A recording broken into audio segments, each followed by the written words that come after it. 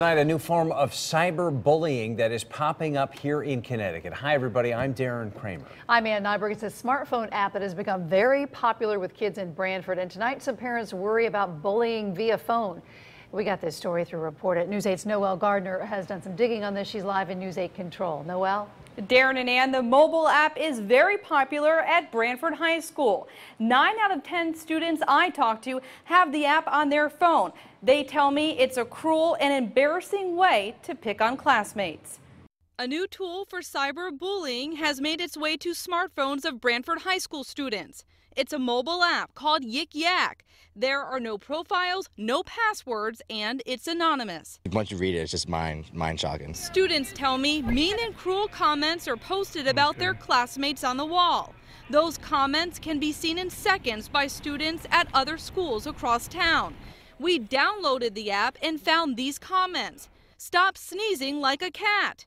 Dates the coach's daughter to get more minutes in basketball and head to head in the battle for the best Snapchat nudes. Snapchat is another app that sends photos that self destruct. Mostly just about like people's private life. It's just hurtful things that people don't want to hear, and it's just bad. Those trolling the app can get live feeds of what classmates are doing. Just skim through it to see like what they say. And what are they saying?